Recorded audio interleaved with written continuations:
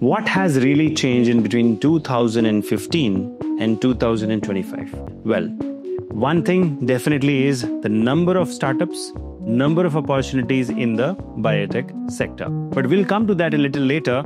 I'm here to tell you about something which most of you are doing nowadays, okay? So we all refer or talk to our seniors or talk to somebody who has passed out in the last seven, eight years, and most of the time what was the scenario then and now has totally changed, right? So, if in case you are getting started with your biotech career or you are looking for a job, you should know that in 2015, you know, probably that was just the first year of Modi government. Before that, the number of biotech startups in our country were, were was way too low. It's, it was hardly 3,000 startups. Today, it is 16,000 startups. Okay, that time the size of biotech industry was 20 billion dollars. Today, it is 160 billion dollars. Right. So a lot has happened in last 10 years. Right.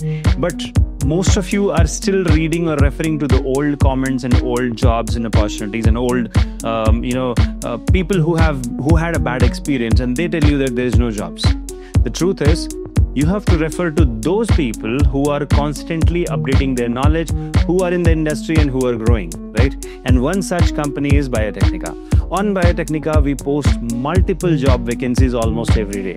So in last 24 hours, we have posted a job from government DRDO DIPAS Microbiology Agricultural Sciences Research Fellow post. And of course, you can apply online. Then we have Apotex, which is hiring for Regulatory Affairs Executive. And if in case you are wondering where to take that training, you have it at Biotecnika. Then we have QC jobs available at Dr. Reddy's.